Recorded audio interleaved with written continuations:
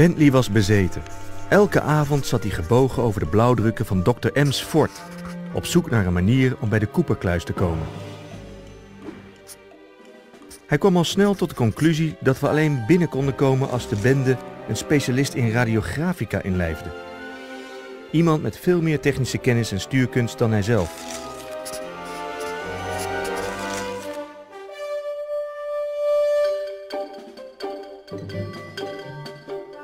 Na weken zoeken in technische chatrooms vond hij eindelijk iemand die zijn intellect kon volgen. Een mechanica-genie uit Nederland met de naam Penelope.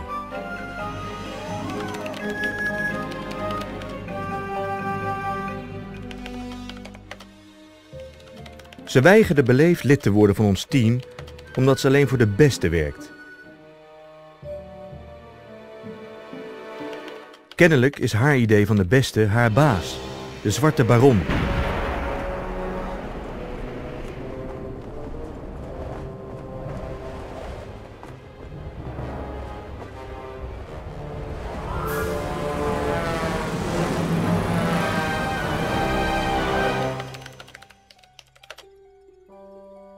Een paar dagen later stuurde ze ons een tegenaanbod. Als onze bende de Zwarte Baron kon verslaan in zijn eigen specialisme, dan wist ze dat we geen geintjes maakten en dus haar tijd waard waren. Dus we gingen aan de slag. We hadden geen tijd te verliezen. Dus Bentley en Murray zetten een vliegtuig in elkaar, terwijl ik zo snel mogelijk mijn vliegbevet haalde.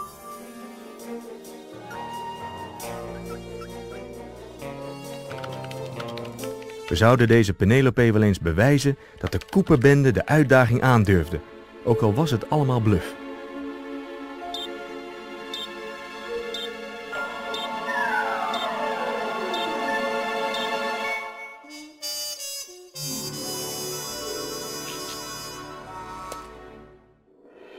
Let's go.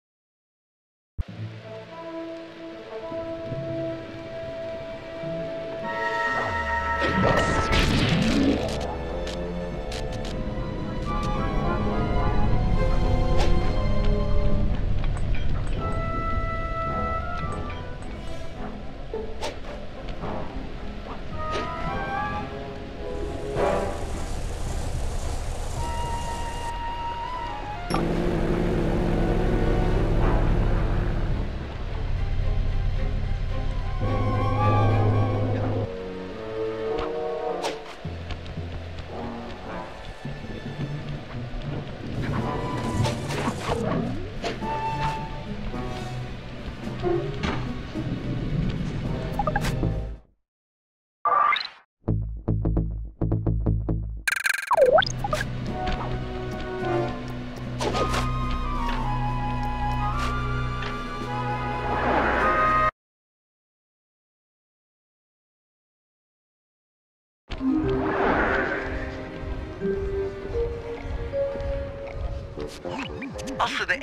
Aces-wedstrijd van dit jaar willen winnen, moeten we weten wie onze tegenstanders zijn. Wat? Houden ze het vluchtschema geheim? Correct. In eerdere jaren saboteerden tegenstanders s'nachts elkaars vliegtuigen ter voorbereiding op het luchtgevecht. Ik snap het. Dus nu houden ze de indeling geheim en weet niemand wie hij dwars moet zitten. Inderdaad. Kijk, Sly, je bent een goede piloot. Maar we hebben maar één vliegtuig. En je hebt tientallen tegenstanders. Normaal zou ik een sarcastische opmerking maken over hoe overweldigd ik ben door je vertrouwen in mij. Maar ik weet dat het er niet goed uitziet. En je weet dat ik altijd in ben voor wat sabotage. Daar ben ik blij om. Goed, het schema is geheim voor de deelnemers, maar niet voor het personeel. Hebben we een spion binnen? Onze vriend Dimitri is ingehuurd om kleurrijk commentaar te geven tijdens de gevechten. Hij weet wel waar het schema is. Zoek hem ergens in de hotellobby. Maar pas op, als je slaags raakt met de andere piloten, worden we uit de wedstrijd gezet. Tuurlijk. We blijven aardig tot morgen en dan schieten we elkaar aan puin op 300 voet.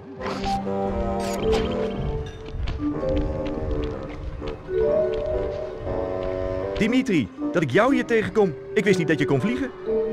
Zoals een dansvloer met veel lampen heb ik veel kanten, snap je? Jij zult dat gladde enigma van Dimitri nooit kunnen begrijpen. Bentley dacht dat jij misschien wel een kopie van de Aces-vluchtindeling had. Klopt dat? En waarom zou ik met een waardeloze stiekeme loggenaar als jij praten? Vetgedrukt vraagteken, waarom?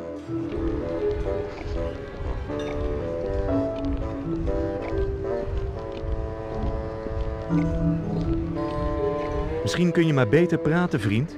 Ik kan je altijd verlinken bij de Zwarte Baron en dan ben jij je baantje kwijt. Dan heb ik geen baan en jij geen noppensvluchtindeling. Ga je gang, luid de klok, dan zien we elkaar wel bij het grote losersdiner. Luister, vriend. We weten allebei wie een gevecht tussen ons zou winnen. Ik ben niet van plan te beginnen, maar je weet dat ik het afmaak. Klopt, wasbeer. In een mano a mano win jij, maar kijk om jou heen, mafkees. Dit is een megavliegspektakel. Als je gaat knokken, word je gedisqualificeerd. Wil je dat, handige Harry? We weten allebei dat je het me gaat vertellen. Je was helemaal niet gekomen als je niet had willen praten. Dus vooruit. Weet ik, maar praten is als op een elektrische stoel zitten. De baron heeft ogen, ogen en oren, oren en vuisten. Dimitri wordt betrapt en het spel is uit.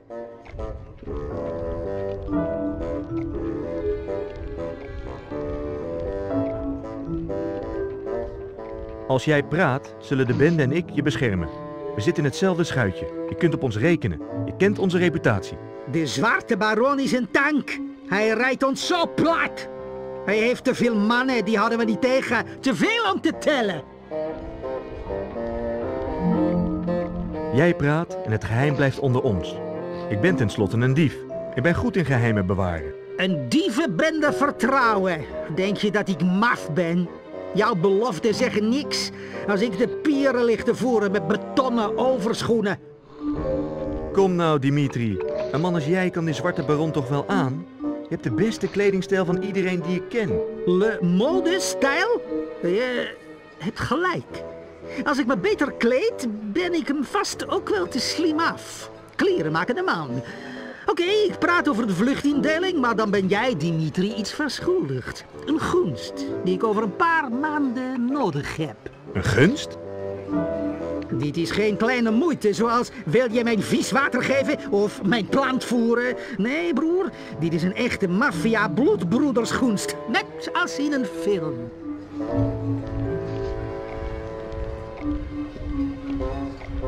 Zouden een paar munten misschien helpen? Praten is veel makkelijker als je rijk bent.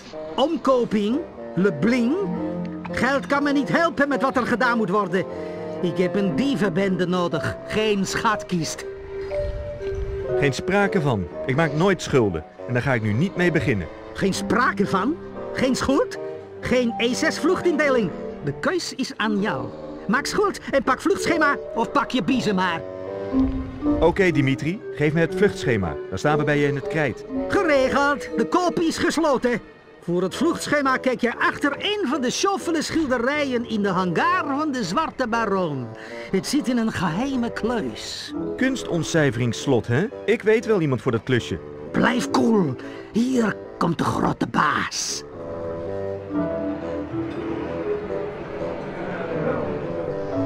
Ik heet u uiterst flamboyant welkom, mijn hooggeachte kameraden van de lucht.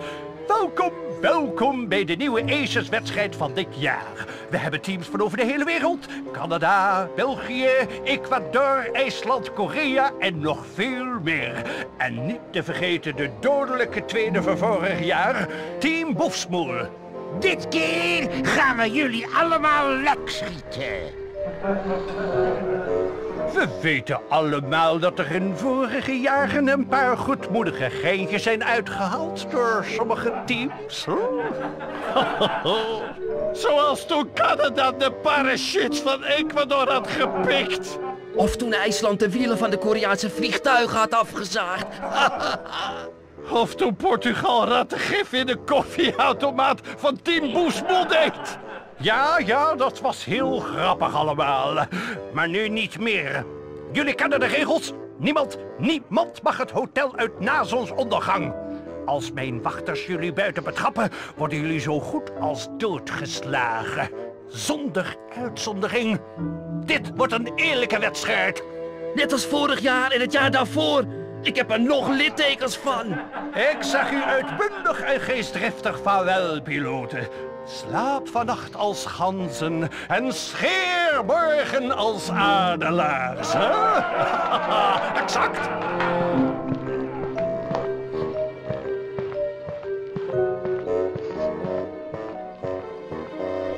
Ze doen de deur van het hotel niet op slot. Het is hier geen gevangenis, maar je hebt het gehoord. Eenmaal buiten is het link.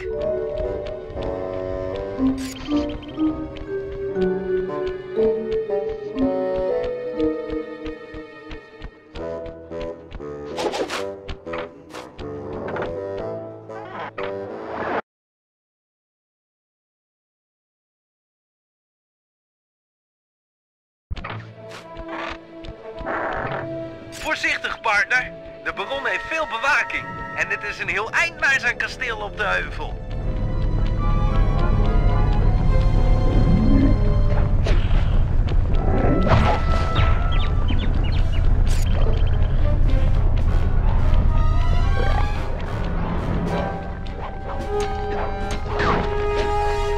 Ik kan niet in de hangar van de baron komen met die ophaalbrug omhoog. Er moet ergens een hendel boven op het kasteel zitten. Sorry vriend, maar jij bent de beste klimmer die we hebben.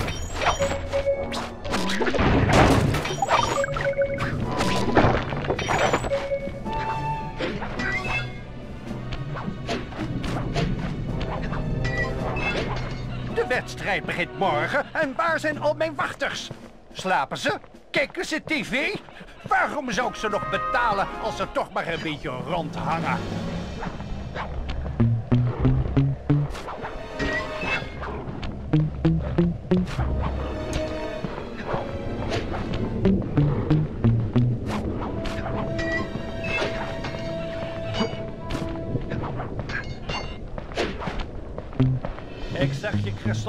De Aces-piloten worden elk jaar beter. We hebben dit jaar gevaarlijke concurrentie. Ik zeg niet dat het te veel is voor het team Zwarte Baron. Nee, nee, nee, we hebben heel hard getraind. Onze piloten zijn zonder twijfel de beste. Dit wordt echt, en dat meen ik serieus, echt onze beste overwinning ooit. Ja, ja. Morgen zullen we een legendarisch luchtgevecht leveren. Als de andere teams elkaar tenminste niet saboteren. Leren ze dan nooit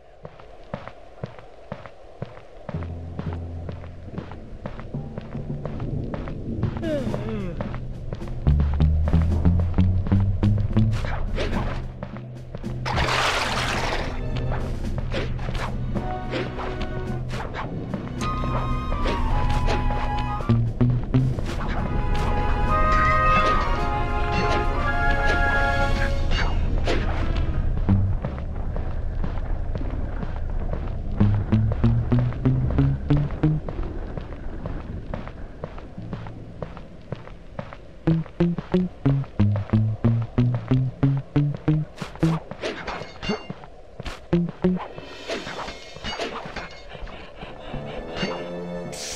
Sly!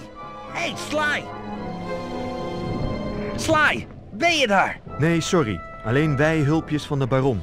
Haal de hendel over en laat de brug zakken, zodat ik daarboven kan komen. Sorry vriend, ik zie geen hendel. Maar, maar, er moet een hendel zijn. Ik kan vanaf hier niet in de hangar van de baron komen. Wacht, ik heb een idee. Het valt nu. Middeleeuws, maar effectief. Bedankt, vriend. Geen dank. Ik zie je in de schuilplaats.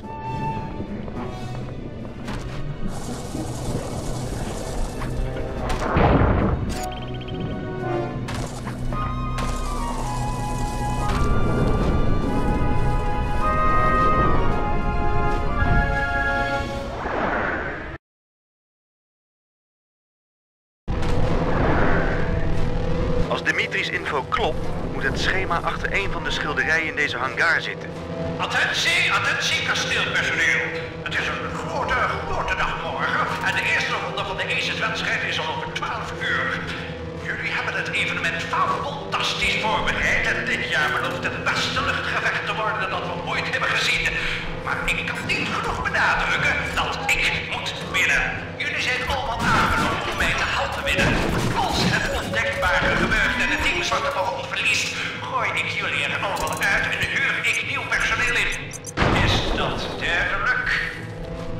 Naar toeval over Geen enkele buitenstaander mag het kasteel in.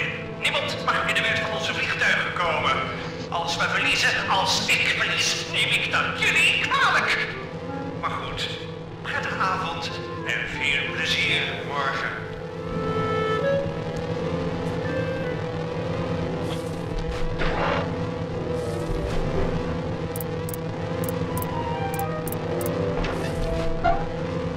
Kluis was leeg. Probeer de andere.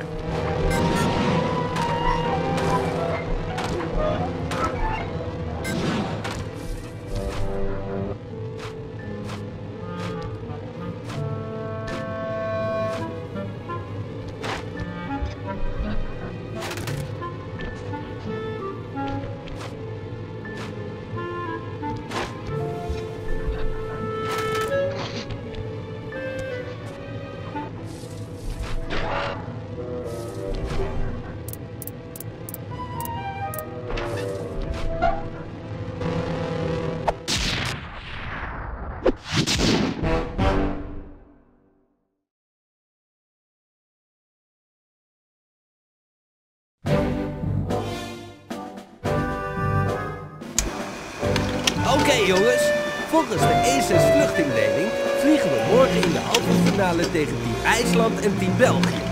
Zoals jullie weten hebben we maar één vliegtuig, terwijl onze tegenstanders er ieder 15 hebben. Snappen jullie dat? Dat wil zeggen dat we een kans van 1 op 30 hebben. Om nog enige kans te maken, moeten we die twee teams tegen elkaar uitspelen. Eerst peddelen Murray en Sly door de riolen onder de stad om toegang te krijgen tot een luchtschacht die naar de hotelkamer van Team IJsland leidt. Stil één van hun karakteristieke vikinghelmen en ga dan naar de hangar van Team België. Vernieuw één van hun vliegtuigen en laat de helm daarachter, zodat ze denken dat Team IJsland dat heeft gedaan. Daarna stelen Murray en ik één van de zakdoeken met geborduurde initialen van Team België. En ondertussen breekt de goeroe de vrachtwagen van Team IJsland open, waarin ze een geluksijscultuur vervoeren. Slijt stilt het kunstwerk en legt de zakdoek neer om Team België verdacht te maken. Begrepen?